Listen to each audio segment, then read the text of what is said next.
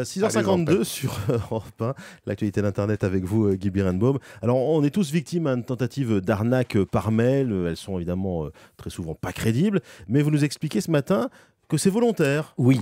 Vous avez forcément reçu, Emmanuel, Mmh. au moins 5 ou 6 fois, ou 100 fois plutôt, Oui, un ça, mail ouais. venant d'une princesse nigériane qui a hérité d'une fortune, mais son héritage ouais. est bloqué, la pauvre, dans une banque, et il faut lui avancer de l'argent pour débloquer sa fortune. Elle vous propose donc à vous, Emmanuel, ou à moi, ou à Michel Grossière, de l'aider à le sortir, cet argent, moyennant quoi elle nous versera à tous un pourcentage. Mais enfin, Guy, ça, ce sont des, des mails qu'on jette immédiatement à la poubelle. hein. Eh bien, pas tout le monde, Ah bon justement. et Numérama présente l'hypothèse plutôt séduisante d'un chercheur nommé Corman Herley, publié sur à propos de ces arnaques qui sont tellement énormes que personne ne devrait plonger. Eh bien, ces mails sont effectivement bourrés de détails qui les rendent incroyables. Une famille royale ou princière en déroute, des sommes folles avec moult zéros, des péripéties absolument impossibles et surtout des dizaines et des dizaines de fautes d'orthographe. Eh bien, justement, selon notre chercheur, c'est tout à fait volontairement que le scénario raconté dans ces mails n'est pas du tout crédible, qu'ils sont si amateurs, si mal faits dans leur présentation et leur formulation. Il s'agit de se débarrasser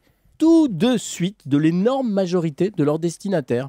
Les escrocs derrière ces arnaques, que l'on appelle des scammers, ne visent et ne cherchent à piéger que les plus naïfs et les plus crédules des internautes. Dans ce but, plus ils parviennent à éliminer rapidement les internautes méfiants ou ceux qui connaissent ou qui voient le piège, moins ils perdent de temps à répondre à d'éventuels retours à leur mail qui ne leur rapporteraient rien. Une tactique qui aurait forcément plu au grand Michel Audiard qui disait Le jour où la connerie se vendra en tube, il y en a qui seront les premiers à s'offrir une brosse à dents. Ah, du Michel Audiard, c'est bien ça le Toujours. matin.